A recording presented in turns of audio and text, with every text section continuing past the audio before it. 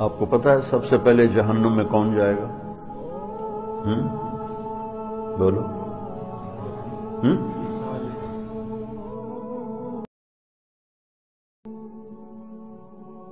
کافر نہیں مشرق نہیں، شرابی بھی نہیں، زانی بھی نہیں، قاتل بھی نہیں، چور بھی نہیں، ڈاکو بھی نہیں، ملحد بھی نہیں دہریہ بھی نہیں، کتنے گناہ ہیں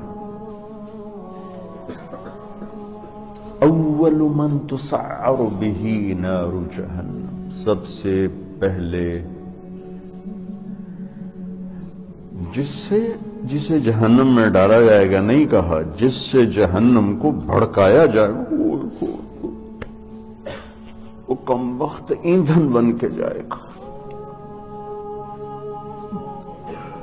یعنی اوروں کی بھی تباہی کا سبب بن کے جا رہا ہے۔ کہ اس کے ذریعے سے جہنم اور بھڑکے گی۔ اول من يدخل فی النار، نہیں فرمایا کہ سب سے پہلے جہنم میں کون جائے گا اول من تسعر سب سے پہلے جس سے جہنم کو بھڑکایا جائے۔ وہ پہلے اتنی بڑک رہی ہے۔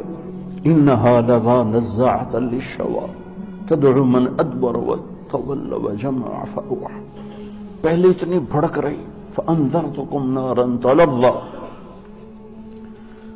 يا خوفناك هو إنها ترمي بشرن القصر كأنه جمالة صفر.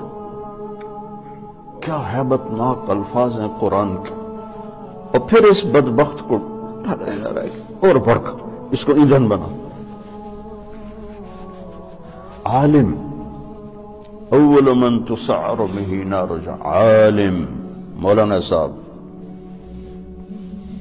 ہاں کیوں؟ ساری زندگی کس لیے کیا کر؟ تیرے لیے۔ کیا بکواس کرتے۔ جھوٹ بولتے۔ تو نے اپنی واہ واہ کے لیے کیا تھا۔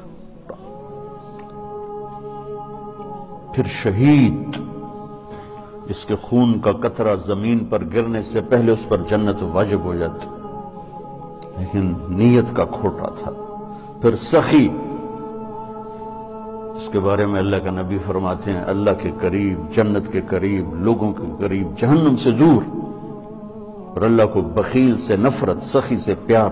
لیکن مارا گیا، اپنی بدنیتی اور بدعملی کی وجہ سے اپنی واہ واہ کے لیے کیا ڈال۔ دو یہ تین ہیں جن سے جہنم کو بھڑکایا جائے۔